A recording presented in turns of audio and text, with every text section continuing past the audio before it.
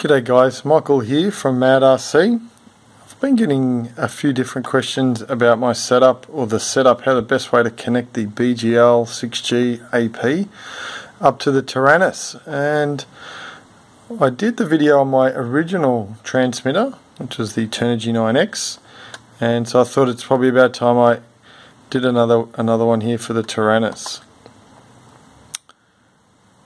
So what I've got here is in the model selection menu and I've got the BIX3 selected. And I can page through to the inputs. And on the inputs I've set an input for uh, position 5 or channel 5 as RTH and if we press the edit you can have a look at that setup. I've called that RTH return to home. I've changed the source to the SB switch. And the weight is 100 offset 0 no differential. Um, modes that's all default. That's it On the next page is the mixer and I've just added that. Channel 5 says the SB switch.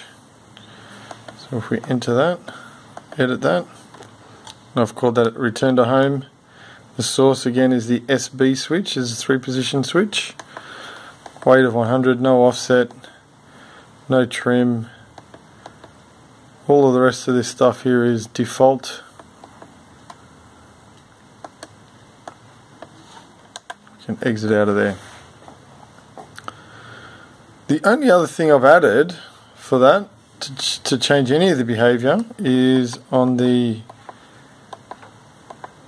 special functions menu. And we'll have a look here special function 5 6 and 7 I've just got a voice prompt. GPS mode. Stabilization off. Stabilization on. And that's it stabilization off.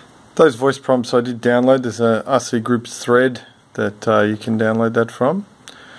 And that's all I've done. I hope that helps. If you've got any questions, put them in the comments below. And thanks for watching.